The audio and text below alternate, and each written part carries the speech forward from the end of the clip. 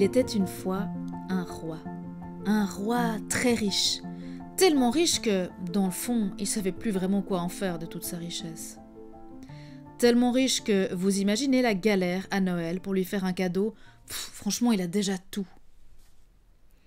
Tellement riche que ça lui monte un peu à la tête tout ça. On a l'impression que pour lui, plus rien n'a vraiment d'importance. Enfin, c'est pas tout à fait vrai. Ce roi, il a une fille, sa fille unique. Il l'aime plus que tout au monde.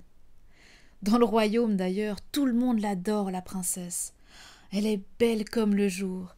Et puis quand elle pose son regard sur vous, oh, à l'intérieur, ça fait tout chaud.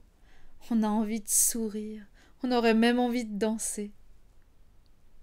La princesse, elle est bientôt en âge de se marier. Le roi aimerait trouver pour elle le meilleur des époux c'est-à-dire le plus riche, évidemment. Il envoie des messagers aux quatre coins du royaume. Oyez, oyez Celui qui remplira de sa richesse la grande salle du palais pourra épouser la princesse. Il faut vous dire quand même que la grande salle du palais, elle est immense.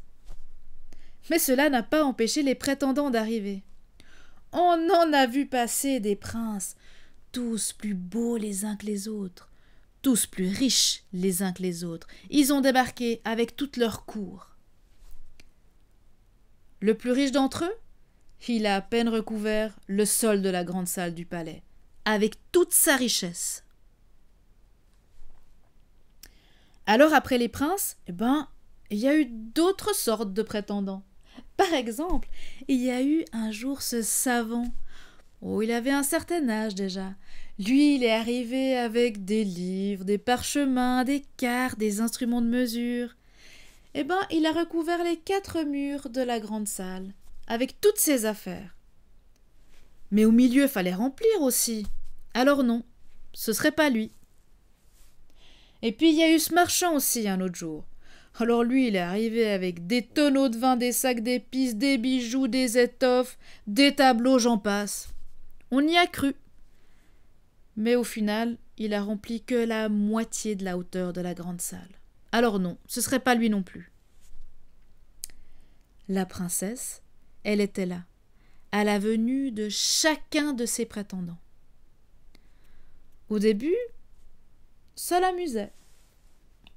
Puis ça l'a ennuyé un peu. Mais aujourd'hui, franchement, elle en a marre. Est-ce que vraiment son père croit que c'est comme ça qu'il va lui trouver le meilleur des époux? Mais c'est n'importe quoi. Elle en tout cas, mais elle n'y croit pas une seule seconde. Et voilà qu'on lui annonce qu'un nouveau prétendant arrive. Celui-là, il n'a pas vraiment l'air d'un prince. Il arrive au palais pieds nus. Ses habits, on dirait que ça fait des jours qu'il les porte. Puis il est tout seul et il n'a rien à porter avec lui. Mais quand il dit que il est là pour relever le défi, qu'il désire épouser la princesse, ben bizarrement, personne n'ose lui dire non. Il arrive devant cette grande salle. Ah, c'est vrai qu'elle est immense. Il redresse les épaules. Il s'avance jusqu'au milieu de la salle. Tout là-bas, il voit le roi. Et puis, à côté de lui, la princesse. Il pose un genou à terre. Il sort un objet de sa poche. C'est une petite bougie qu'il pose par terre. Et il l'allume. Au début, il y a cette toute petite flamme tremblotante, elle fait à peine un petit cercle de lumière sur le sol autour de lui. Et puis, la flamme prend de l'assurance, elle grandit, et la lumière s'étend. Elle va jusqu'aux quatre murs de la grande salle, et la lumière monte jusqu'au plafond. Elle finit par remplir la grande salle en entier, jusque dans ses moindres recoins.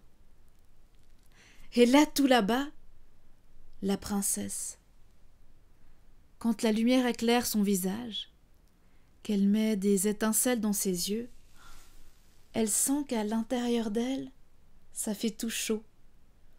Elle a envie de sourire. Elle aurait même envie de danser. Le roi, lui, il a vu les yeux de sa fille qui brillaient. Chose promise, chose due. Le jeune homme a pu épouser la princesse.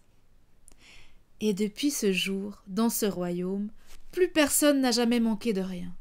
Ben oui, parce que la lumière, ça remplit le cœur des hommes de chaleur, de paix et aussi de joie.